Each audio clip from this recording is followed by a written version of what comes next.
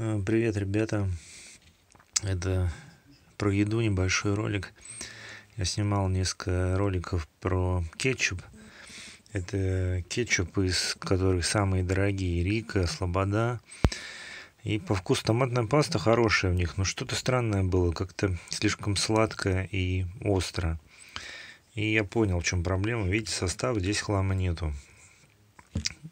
Неплохой кетчуп, но уксус сильно кислоту дает. Сильно жжет рот.